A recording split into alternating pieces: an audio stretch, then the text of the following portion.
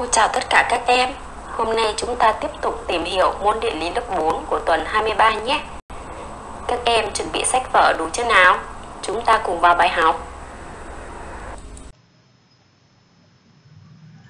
Trước khi vào bài học mới, cô kiểm tra bài học cũ, xem bạn nào trả lời được câu hỏi của cô nào. 1. Kể tên những hoạt động sản xuất của người dân ở đồng bằng Nam Bộ mà em đã được học. Các em suy nghĩ trả lời. Những hoạt động sản xuất ở đồng bằng Nam Bộ là sản xuất lúa gạo, trái cây, nuôi trồng và đánh bắt thủy sản. 2. Nhờ đâu mà đồng bằng Nam Bộ trở thành vựa lúa, vựa trái cây, thủy sản lớn nhất nước ta?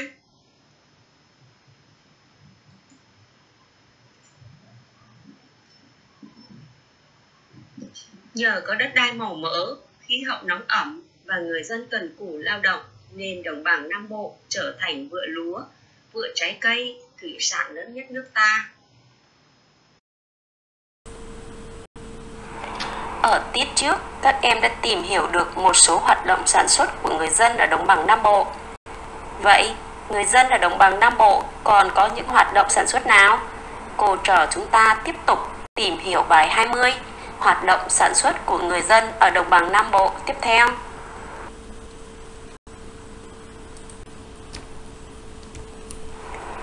Cô trò chúng ta cùng nhau đi tìm hiểu hoạt động 1, vùng công nghiệp phát triển mạnh nhất nước ta. Các em hãy quan sát lược đồ công nghiệp Việt Nam. Trên lược đồ này, vòng tròn rất lớn, thể hiện vùng đó là trung tâm công nghiệp rất lớn vòng tròn lớn, thể hiện vùng đó là trung tâm công nghiệp lớn. Vòng tròn vừa biểu thị vùng đó là trung tâm công nghiệp vừa. Và vòng tròn nhỏ nhất này biểu thị vùng đó là trung tâm công nghiệp nhỏ. Như vậy, qua đây các bạn thấy, đồng bằng nam bộ của chúng ta có rất nhiều trung tâm công nghiệp.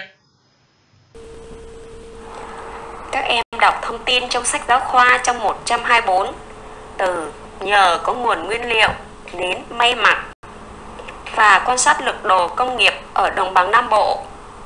Đọc phần chú giải, em hãy kể tên các ngành công nghiệp của đồng bằng Nam Bộ. Qua lực đồ ta thấy ở đồng bằng Nam Bộ có rất nhiều ngành công nghiệp như cơ khí, điện tử, hóa chất, phân bón, cao su, chế biến lương thực, thực phẩm, sản xuất hàng tiêu dùng, vật liệu xây dựng, dệt, may mặc. Các em quan sát các hình ảnh sau và cho cô biết các hình ảnh đó thuộc ngành công nghiệp nào. Ở hình 4, sản xuất linh kiện máy tính điện tử thuộc ngành công nghiệp điện tử hình 5 và hình 6 thuộc ngành chế biến lương thực thực phẩm. Hình 7 phân xưởng cán đồng thuộc ngành công nghiệp cơ khí. Hình 8 nhà máy đạm Phú Mỹ thuộc ngành công nghiệp phân bón hóa chất.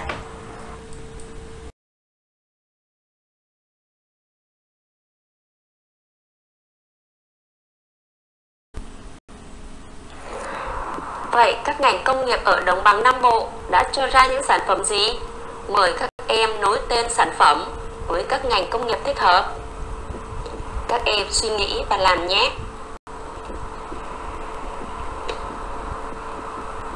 Bây giờ các em kiểm tra kết quả của mình xem có đúng với đáp án của cô không nào.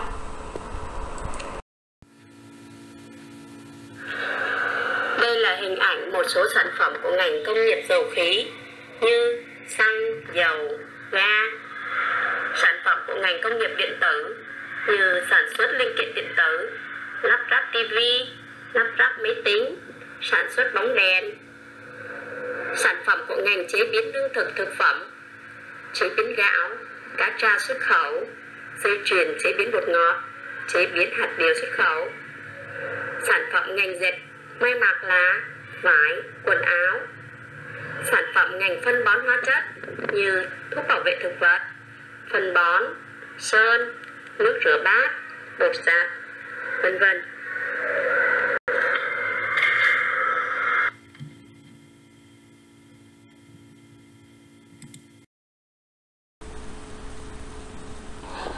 Đây là biểu đồ giá trị sản xuất công nghiệp tính đến năm 2012.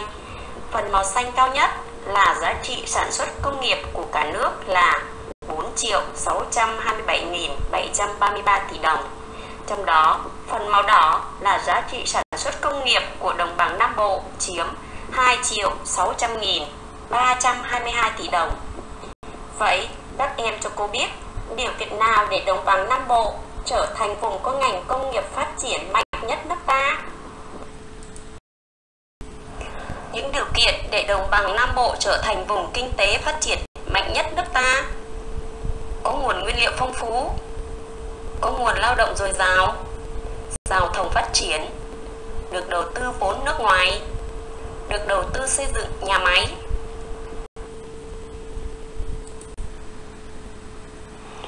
Qua hoạt động này ta thấy đồng bằng Nam Bộ là nơi có công nghiệp phát triển mạnh nhất nước ta. Những ngành công nghiệp nổi tiếng là khai thác dầu khí, chế biến lương thực, thực phẩm, dệt may, hóa chất, cơ khí, điện tử, vân vân.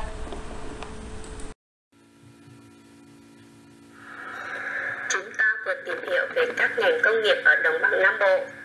Tiếp tục, cô trò chúng ta đi tìm hiểu xem đồng bằng Nam Bộ có nét văn hóa độc đáo nào. Chúng ta sang hoạt động 2, chợ nổi trên sông. Với kiến thức các em học được ở tiết trước, kết hợp đọc sách giáo khoa trang 125-126 từ chợ nổi trên sông đến xuồng ghe và trả lời cho cô hai câu hỏi sau. một Người dân ở đồng bằng Nam Bộ đến chợ nổi trên sông chủ yếu bằng những phương tiện giao thông nào? 2. Vậy các hoạt động mua, bán, trao đổi của người dân thường diễn ra ở đâu? Các em suy nghĩ trả lời. Phương tiện đi lại chủ yếu của người dân ở đồng bằng Nam Bộ đến chợ nổi trên sông là xuồng ghe. Các hoạt động mua, bán, trao đổi của người dân thường diễn ra trên các đoạn sông, thuận tiện cho việc gặp gỡ của xuồng ghe từ nhiều nơi đổ về.